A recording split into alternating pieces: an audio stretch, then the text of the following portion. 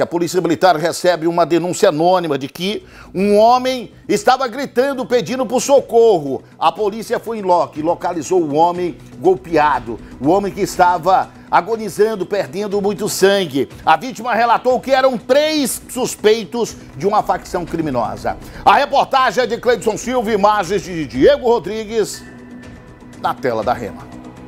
O jovem de 27 anos foi vítima de uma tentativa de homicídio no final da noite da última segunda-feira, após levar várias facadas pelo corpo por membros de uma facção criminosa na rua Tocantins, no bairro Santa Letícia 2, no município de Candeias do Jamari, distante a cerca de 20 quilômetros de Porto Velho, capital do estado de Rondônia.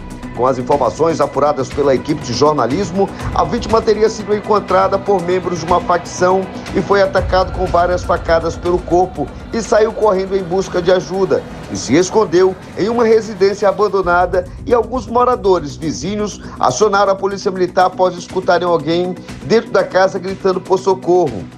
Os policiais se deslocaram para o local com brevidade e conseguiram encontrar a vítima jogada no chão, com várias perfurações pelo corpo provocado por faca.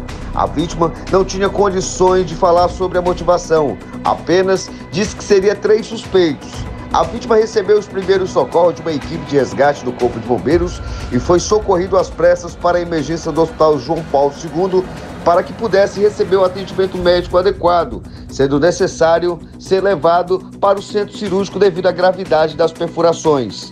A Polícia Civil agora seguirá com as investigações para tentar identificar os suspeitos e saber a real motivação do crime. Obrigado, Cleiton Silva, pelas informações aí.